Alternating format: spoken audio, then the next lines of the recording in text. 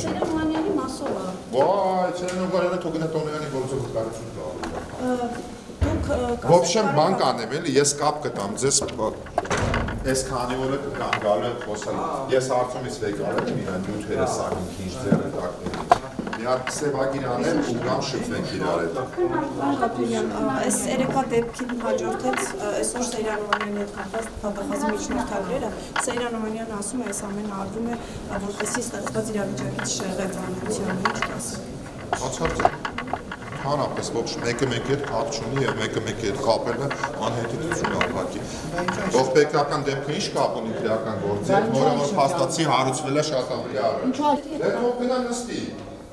Եթե մեղավորը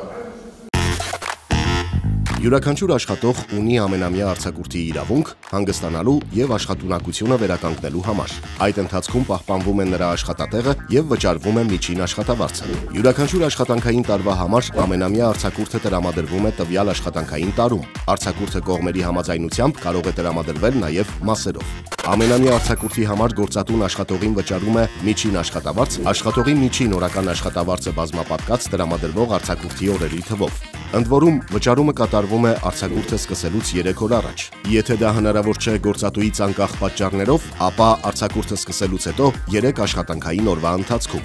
Ամենամյա նվազագույն արձակուրդի տևողությունը հնգորյա աշխատանքային շաբաթվա դեպքում 20 աշխատանքային օր է, իսկ 6-օրյա աշխատանքային շաբաթվա դեպքում 24 աշխատանքային օր։ Ոչ լրիվ աշխատաժամանակի պայմաններով աշխատողների ամենամյա արձակուրդը չի կրճատվում։ Կոլեկտիվ կամ աշխատանքային պայմանագրով կամ գործատուի իրավական ակտով կարող են սահմանվել ավելի երկար տևողությամբ արձակուրդներ, բացառությամբ պետական եւ համայնքային բյուջեից ֆինանսավորվող կազմակերպությունների Հայաստանի Հանրապետության կենտրոնական բանկի։ Գիտեք արդյոք, որ եթե աշխատավարձը սահմանված ժամկետում չի վճարվում աշխատողից անկախ պատճառներով, ապա արձակուրդը երկարաձգվում է այնքան օրով, որքան օրով երկարաձգվել է աշխատավարձի վճարումը եւ երկարաձգված ժամանակի համար վճարումը կատարվում է այնպես, ինչպես ամենամյա արձակուրդի համար։